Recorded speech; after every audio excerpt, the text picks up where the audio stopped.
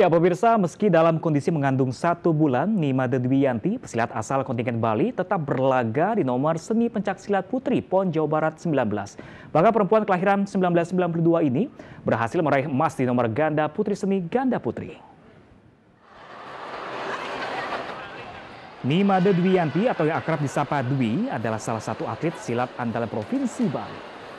Perempuan kelahiran Bali 24 tahun silam ini telah dua kali meraih emas PON di nomor ganda putri seni pencak silat.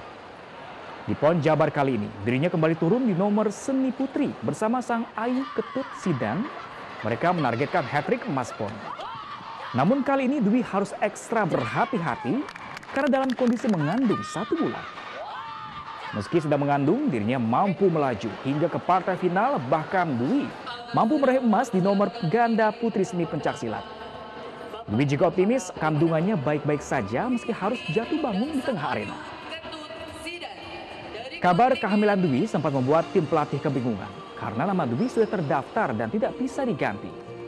Namun keinginan sang atlet yang kuat dan mampu meyakinkan tim pelatih, sang pelatih pun mengizinkan Dwi turun di PON ke-19. Raihan emas tiga kali berturut-turut membuat pasangan Dwi dan Ayu sangat puas PON ke-19 Jawa Barat menjadi PON terakhir bagi pasangan kebanggaan Pulau Dewata.